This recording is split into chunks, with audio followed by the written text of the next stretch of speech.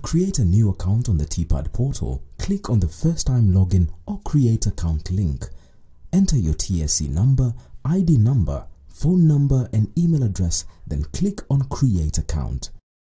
Once you log in, you can add any change to your personal details, subject combinations and your password. To change your personal information, go to the job title information and click on it to reveal a drop-down menu. Select My Profile to open the profile page.